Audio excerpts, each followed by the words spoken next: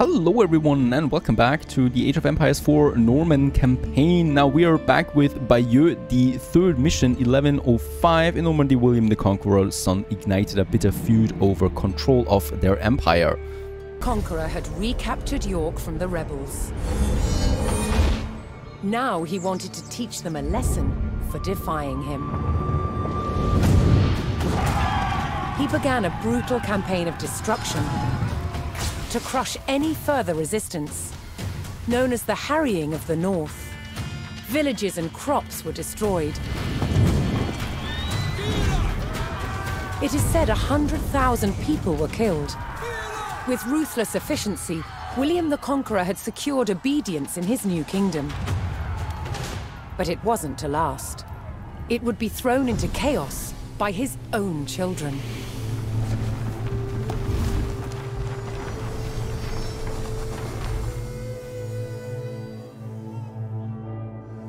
When William the Conqueror died in 1087, his favorite son succeeded him. King William II, known as William Rufus. But 13 years into his reign, disaster struck. While out hunting, he was killed.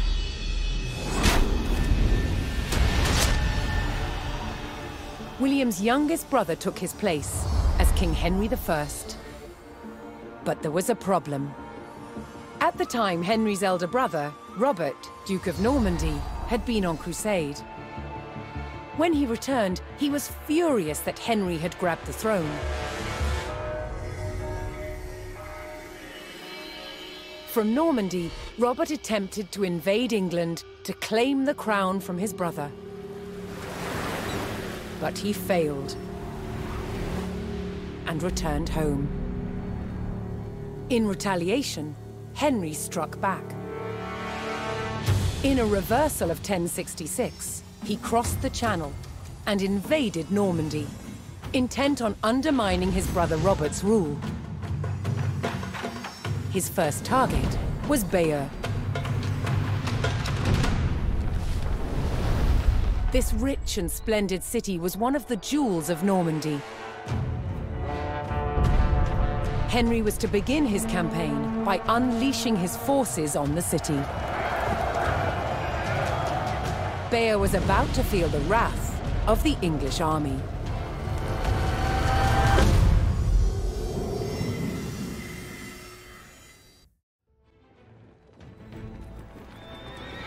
In the brotherly feud over Normandy, King Henry I set out to make an example of Bayeux, a town still loyal to his brother Duke Robert.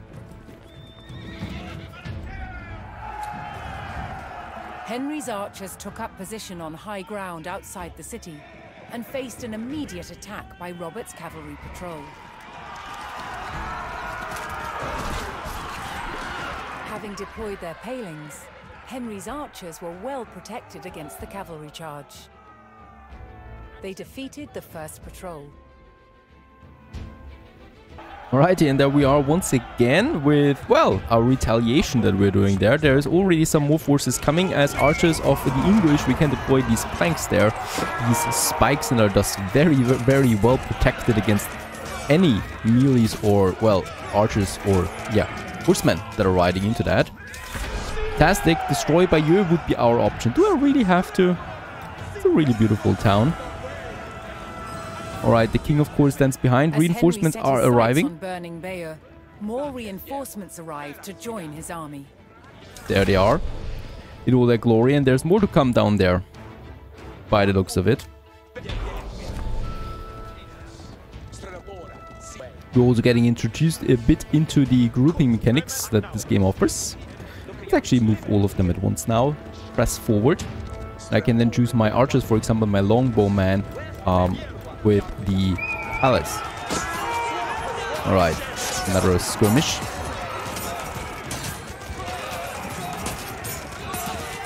As we slaughter our way through English history.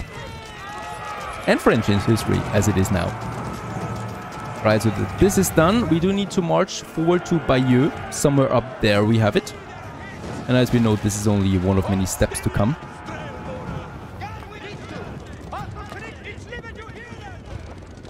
English approached Bayeux and saw that its towering stone walls would not be breached by manpower alone. Alrighty, we got some very heavy walls there. And a defensible location to construct it. So first of all, we need to find something. This is not going to be takeable here.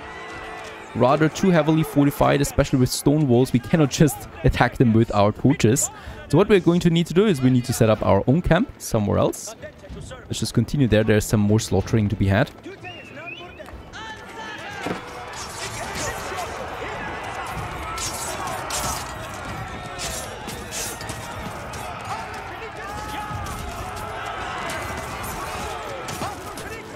What we can also see up there is that the what we were seeing is that the infantry was on the on the walls themselves. So yes, we can now finally deploy units on walls, which is pretty cool, I think. Alright, so this has been, well, slaughtered.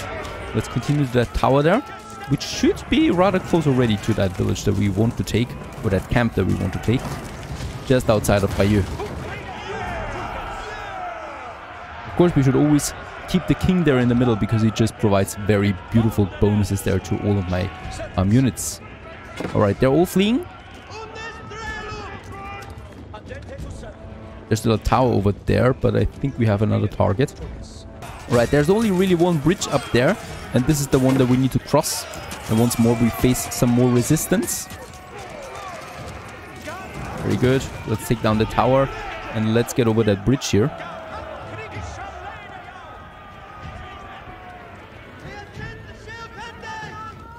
I just hope it can hold us. and yes, we're also getting attacked by these archers up their wall there. We need to be more careful about our infantry because our archers will not be able to take down these towers so easily. Right, next tower down. And then we should hopefully, without further resistance, march into this outpost there. And there it's coming up, and more units, of course.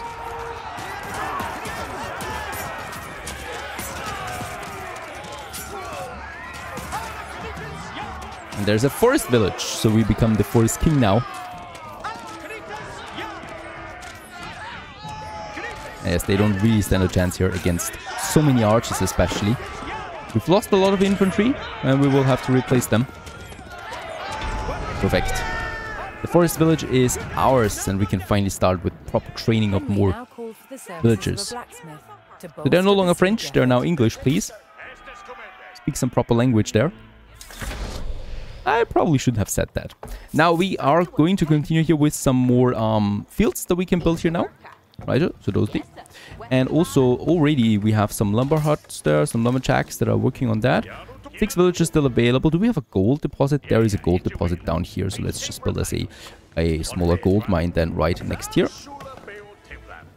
Perfect. And also, do we have some research? There we have an increased villager gathering rate for food. We should definitely be doing that right away because it's just such a nice bonus overall. We also have some stable there, or a stable, and that's basically it. Of course, we could train some horsemen now, but I rather am the infantry type for this one with the English.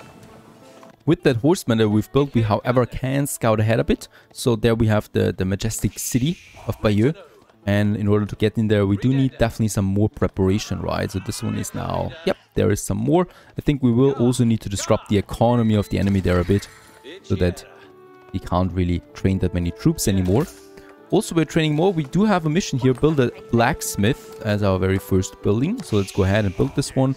Uh, we don't have a lot of space in this whole town. Let's have a blacksmith up there so we can build this one's training. And of course, our major goal right now is to advance to the next era and then also build some siege units that we are going to need. Some rams. Blacksmith has been built, and with that we got some research here, especially also the melee and ranged infantry can construct siege towers and battering rams. And I'm going to research that right away. So that means all our uh, melee and ranged infantry units can then build these rams on the field, provided we have enough wood. And wood is basically the keyword here. So we do need more foresters. And also, yeah, let's also build us another house there. Gotta say, I'm really digging the graphics. Much more beautiful than the technical test. Sharper textures, better lighting. Okay, we have a lot of archers, almost no melee, so we need to be a bit careful here how we want to sort them, and I'm pretty sure that there's going to be another smaller attack, so let's also build us hmm, from here to here a nice palisade, right? So this villager is going to build it for us, and also then here somewhere a gate. Yeah, probably just there.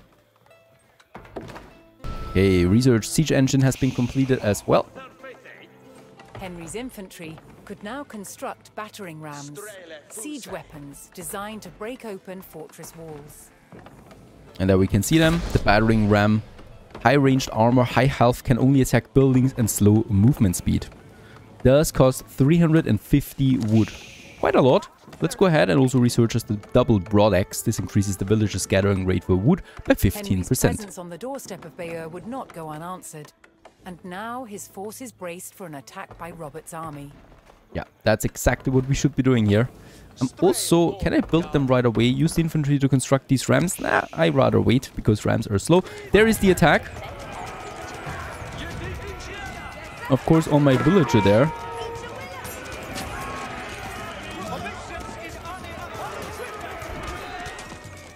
And I will probably also go right into some barracks, because we don't have them yet.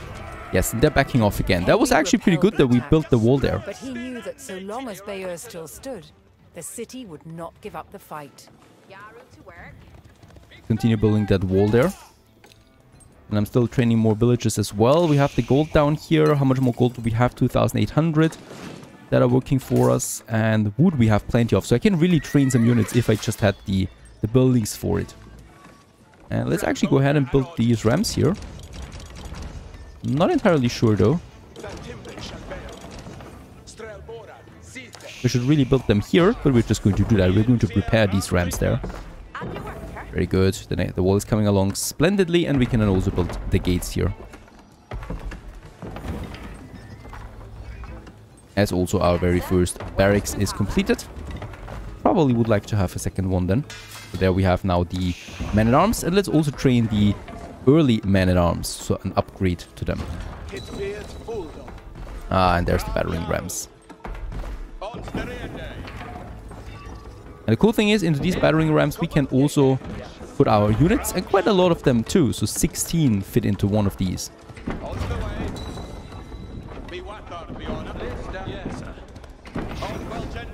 The power of battering rams. The English army could crack open Bayeux's mighty walls. Perfect. So also the three we built. New objective, breach the wall. We do have a couple of options here of entry points that are suggested.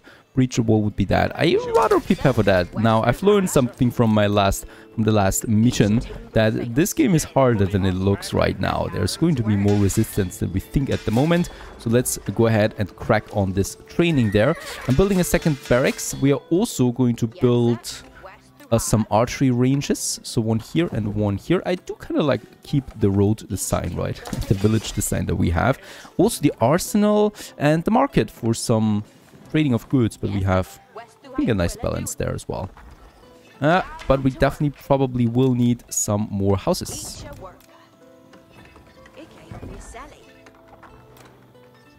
Alright, my battering rams are ready here. Oh, it's rather claustrophobic.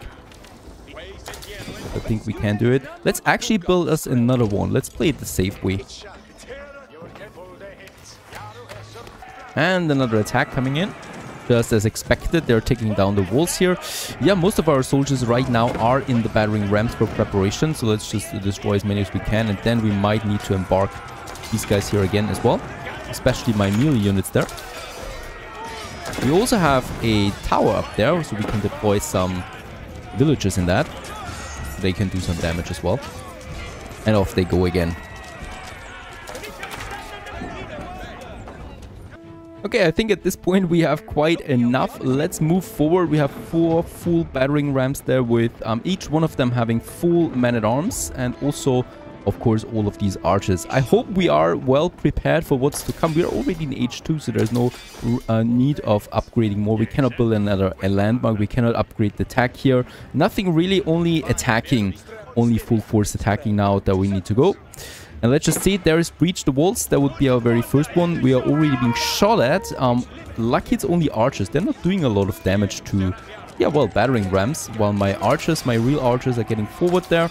And we'll start attacking now on these towers there. Oh, and there's already some melees coming out. So they will be hopefully getting slaughtered now in the process there. Perfect. And we have a bit of space there again for the battering rams. I cannot rotate the camera here, so we'll just have to be happy with the outlining there. Boy, that's a lot of damage coming in here on us. I just hope that it's enough, that I have enough units there. Let's try to take down these archers there. Very good. The wall is falling. The gate has fallen. Bayeux's walls had failed, and Henry's men could now storm the city. Mm, I'm not entirely sure that we would really storm the city. It's not looking so great, to be honest.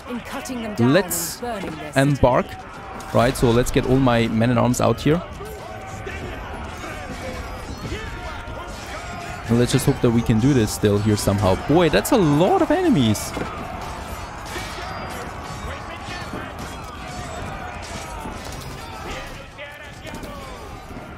Alright, let's move my archers a bit forward there and also my men-at-arms.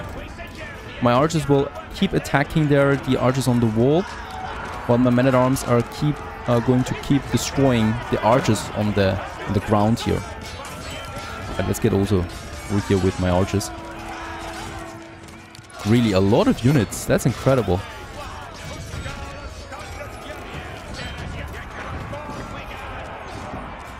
Alright, the cool thing is we can also walk up the, the wall there with our melee units once it's being uh, damaged. That's pretty cool. And we can also go up here. There is a, a, door upwards, right? Because there's a tower. And then we can use this as well to further go in there. I think we have destroyed the main forces there. Right. Let's just keep destroying these towers there and reach them, defeat the Bayeux defenders. Oh, there's more of them and destroy the buildings as well. Now, um, we're losing uh, a lot of soldiers there in the in the process. So let's just train us a few more units in the back that I'm going to send um, over there as well. Right, and I already have also a few more of them that we can get there. So just in case, you know, if there's a bigger attack force coming, because we're still not very far ahead there. There's Chamber of Commerce. Beautiful buildings, by the way. I like them. As we destroy Bayeux. But why should we destroy Bayeux? We do need for ourselves, don't we? There is a keep. Oh, for the keep, we should have our battering ram still available. Let's start attacking the keep with the battering ram. And Henry has been injured. Where's Henry?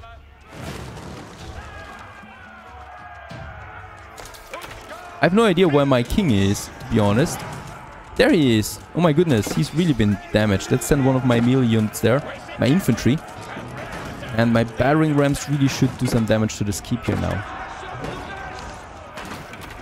Alright, there's some more attacks here. My reinforcements are coming in. This is stressful. This is harder than I thought it would be. More reinforcements down there.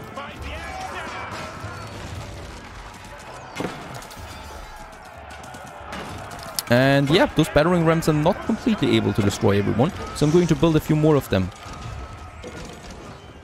With my melee units. And then I'm going to move all of my melee units there to King Henry. Because we really should protect our king at all costs. These battering rams take a long time. There's more units down here. There's my... Boy, that keep is doing a lot of damage. Insane. Let's get out of there. Holy cow, it's going to kill the king once again. Incredible. What is that keep up there? That's insane. At least it did not attack the ram in the meantime and was almost destroyed in the process. And I still have two more rams. Let's wait for the third one, then we will be able to destroy the keep there. Right, how's it looking down here? More more archers, basically, that we can slaughter with the men-at-arms. Incredible.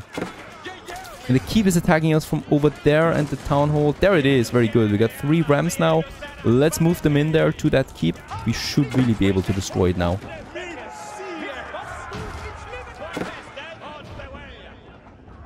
I think it actually is destroyed. Yep, it's burning down. It burned down. So the cool thing is once these buildings catch fire, they're just burning down if not if no one is actually taking care of them. This battering ram can very well take care of that. There's more units coming once again.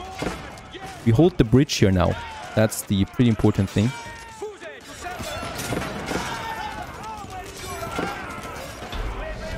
Alright, destroy all the buildings and defeat the defenders. So no more building destruction, please. Who knows if we really need to keep that city. There was just an outer village, right? There's way more in here. The inner city is still intact. Okay, I'm going to train a few more units there in the meantime. Everything that we kind of can get. And once again, King Henry. Yeah, he's really up there. And it's just so many enemy units everywhere. That's insane. There's more coming down here. Let's back off again a bit. Hold the bridge here. I hope we can hold the bridge up. Uh, we can hold the enemies there. With our archers. And there's still more slaughtering over there.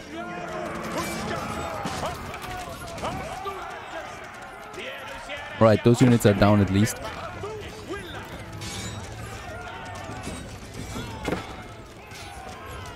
We should be really close now in killing all of them.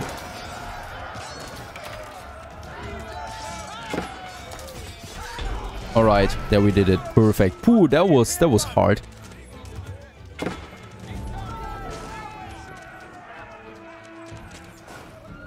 As Bayeux burned and the people fled in terror, King Henry basked in the victory over his brother Duke Robert. But Henry would not stop until all of Normandy was back under the English crown.